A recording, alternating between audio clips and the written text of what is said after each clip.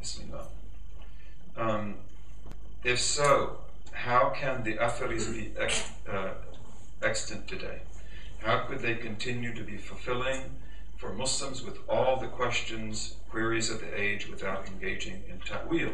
Well, um, again, you know, we'll be polite about that because uh, in my case, um, do you have a question? Uh, in my case, um, one of the people that I love more than anybody after the Prophet وسلم, after Abu Bakr and Umar and Uthman and Ali is Sheikh Abdul Qadir Jilani. This happens to be my personal preference. And he is an Athari. He is a Salafi. You know, and but he knows what he is saying. You know, and I believe that he would be quite capable of explaining everything to everybody. So he takes this in and he holds it like that. And in my belief, Sheikh Abdul Qadir Jilani and Ibn Abi Zayd al Qayrawani and al Tahawi, and there are many others, they take that position and it is Salim. You know, but also in the case of Sheikh Abdul Qadir, he is an Arif Billah. He is a great knower of God. And therefore, he knows what he's saying when he talks about these things. So I don't see any inadequacy in that path at all. But again, we do not interpret in that path. And we do not take things literally. But we understand that these are jewels and that they radiate light, and we let them radiate that light. Um, however, you know, when we talk about the challenges of the age, we talk about modern physics and astronomy and biology and bioethics and a lot of other things mm-hmm. like genetic manipulation of DNA, which is a horror. it is it is genetic roulette. And all American, American scientists were very clear about that. You open up the door to Monsanto to, to patent a type of wheat, you know, and to change the DNA. And even in the United States, whether you believe it or not, they take tomatoes and cross them with the DNA of pigs so that they have longer shelf life. I don't want to eat that tomato. I don't say it's haram, you know, but like, what are you doing? You know, you have the sunnah of Allah, and you have the sunnah of the Messenger of Allah. And in reality, you don't tamper with the sunnah of Allah unless you have permission through the sunnah of Rasulullah, which is the Sharia. This is really dangerous. This genetic modification of plants and other things, animals as well, is, is genetic roulette. And we have sicknesses today. And this is what the American government was warned about. That what we know about genetic modification is that it produces sicknesses and other things. We don't know where this begins and we don't know where it ends. You know, uh, it's a very dangerous thing. But we have to be able to talk about these things today, and we need to be able to talk about them intelligently. Uh, one of the things that we want to do in the United States, especially a man that I work with, uh, Maulana Al Hafid Amin, who is a great scholar in our time, is to be able to talk intelligently about bioethics. He can do that. But we have to do that. Muslims have to be there. The Jews are there. The Christians are there. They talk about this with great sophistication. And a lot of Muslims who go there, you're embarrassed that they even showed up. They didn't even know what they're talking about. You know, so we have to be able to talk about these things with great sophistication, and therefore we need to be able to draw on our whole tradition. Is that okay, or do you have something else? I'm just wondering, would you say that there are still Atharis today? Um, what are you getting same, at? No, no, I, I mean that with all respect, but has that tradition survived Mhm. in the same way that the uh, Asha'ira and the Maturidis have survived? Like, is it transmitted by Yes. What does Musa Furber say? Says that the Athari position is Imam Safarini, but I haven't asked him. Okay, so I I don't know the answer to that question, but I would believe that it is still alive. You know, and, and that's just my confidence, but I don't know where to look for it. I don't know who's the one who transmits it. Um, or is it the case that contemporary Atharis are not really Atharis but are simply trying to associate themselves with that for uh, authenticity's sake? So do we have to answer that question? Hazan, do we have to answer that question? uh, in any case, yes. Sorry, what, what, what's Athari? What he's trying to say is Salafi. Okay? Boom. This is what he's trying to say. You know? And um, that's what we're being polite about. And again, because um, I don't like to call names, and um, you know, I don't want to make anybody unhappy. But um, and you know, we live in a time of great difficulty and great misunderstanding. So the best thing that we can do is to be brothers and sisters. And the best thing that we can do is to talk with each other and to discuss and to try to come to an understanding of truth. Okay? I want to follow the Quran and the Sunnah. I don't want to do anything else. And my brother and sister also want to do that. So let's talk about that. And let's talk about our tradition, Imam Malik, Imam Abu Hanifa, Shafi'i, Ahmed bin Hanbal, uh, Al-Ash'ari, Al-Maturidi, Al-Junaid al-Salik. And let's try to talk about it in an objective, honest way, with no excitement, you know, no emotion. And um, may Allah make that possible for us, because we can't be divided. We can't be fighting each other. We cannot be uh, ripping ourselves apart. You know, this is not good. This is not our tradition. And nevertheless, um, I had a great sheikh, and um, he, his name was Sheikh Muhammad Mahmoud bin Zidan. May Allah have mercy upon him. Uh, he was a Mauritanian, and he lived in Medina. I knew him for many years. And uh, he's one of the greatest people I knew in my life. And um, he was a very honest man, and he was a great scholar. And I would go visit him regularly. Um, I would even give him part of my salary every month. I didn't, you know, I, Allah gave me more than I needed, so I could give him a certain amount every month. He was very poor. And at the end of his life, I came to Medina. He was in Medina. I gave him something. He said, After this, don't give me anything more. He said, I don't need it. Thank you so much. You know, I don't need it anymore. So I thought, you know, mashallah, maybe somebody now is helping him.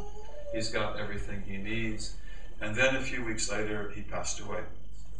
And he was sitting in the Rawda, which he would always do, and he died sitting in the Rawda. And then when the ziyarah of the Nisa came, the visit of the women, the police came and said, Ya Sheikh, qum, Ya Sheikh, qum. And he's just sitting there. And then they go up, Ya Sheikh, qum. And then they found out that he's not alive. He's just sitting there. And he was a beautiful human being.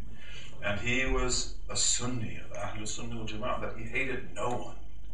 And in Medina, all the people that were in Medina, to my knowledge, they all knew him and they respected him. That's why they left him.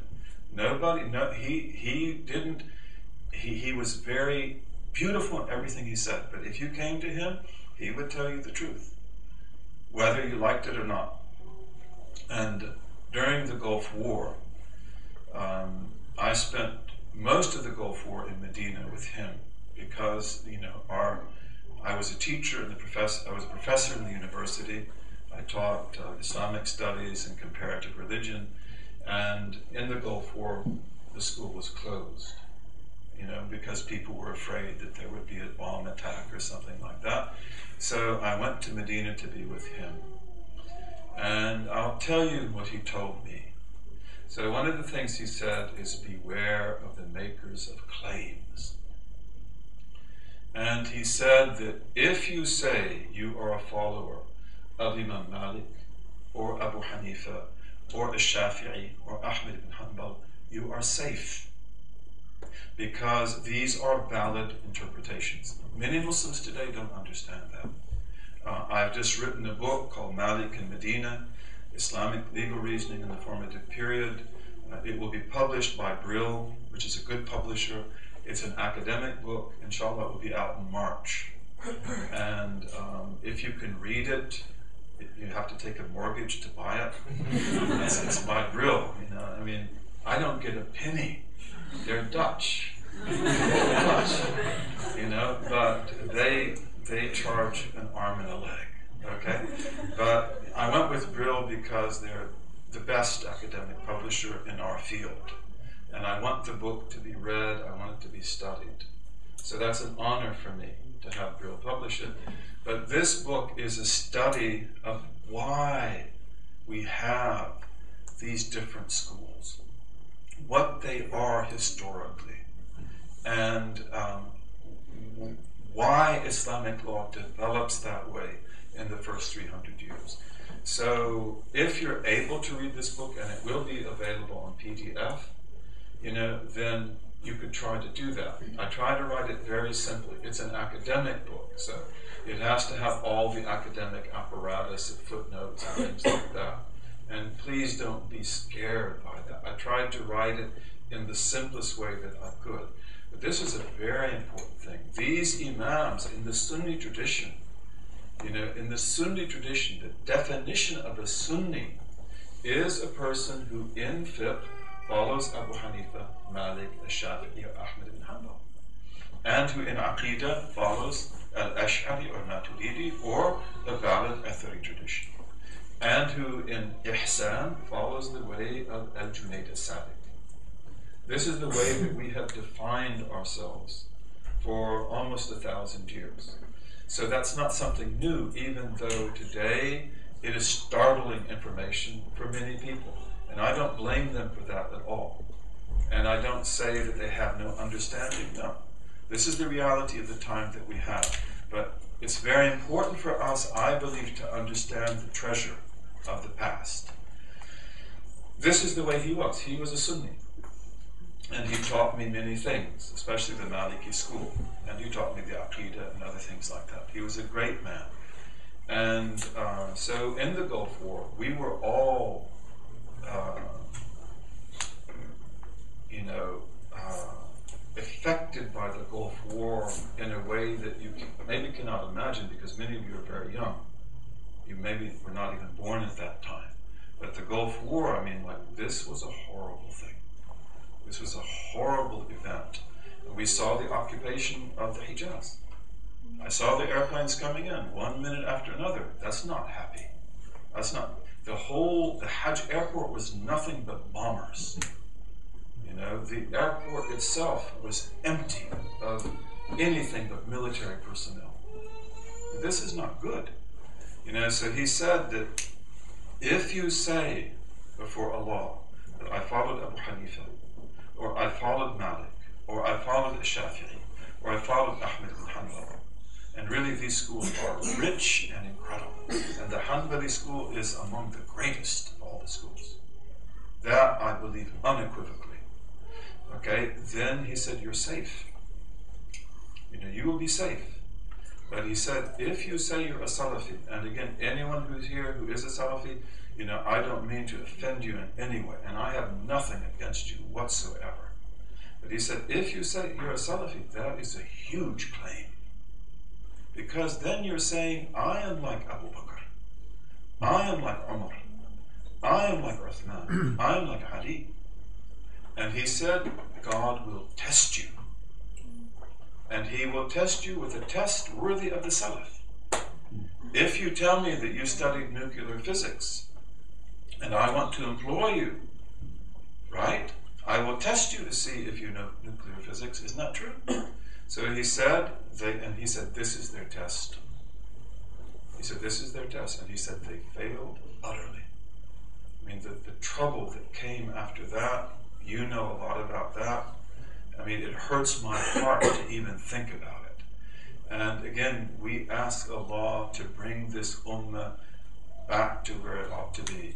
And all of our brothers and sisters who want to follow the Salaf, you know, Allah bless them. Allah have mercy upon them. I want to follow the Salaf too.